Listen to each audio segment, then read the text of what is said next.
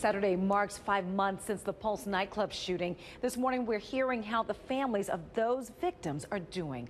Back on June 12th, Omar Mateen opened fire inside the club, killing 49 people and injuring more than 50 others. And now family members of the people killed are coming together to deal with their loss. They meet once a week to share memories of their children and to support one another.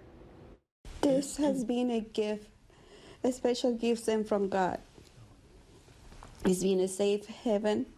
We understand each other, we cry, we go through the same emotions, you know, day by day. When we get together, we talked about it, and when we start talking about it, we're doing the same thing. The group meets every Thursday. Current members say that they're hoping to embrace more grieving family members to get them the help they need. Phil? The Orange County Sheriff's Office has released more body camera footage from that tragic shooting. That footage has been heavily edited, though, to avoid showing bodies. It shows officers searching inside the club, running around the perimeter, and laying out stretchers. A reporter at our sister station WFTV talked to a woman whose daughter was killed in that shooting about the release, and she was visibly upset.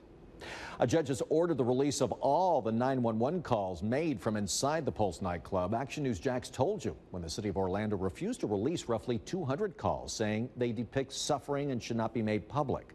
On Wednesday, a judge ruled that audio made after 2 a.m. will be released now. The city said they will abide by the ruling once they redact the names and personal information of the callers.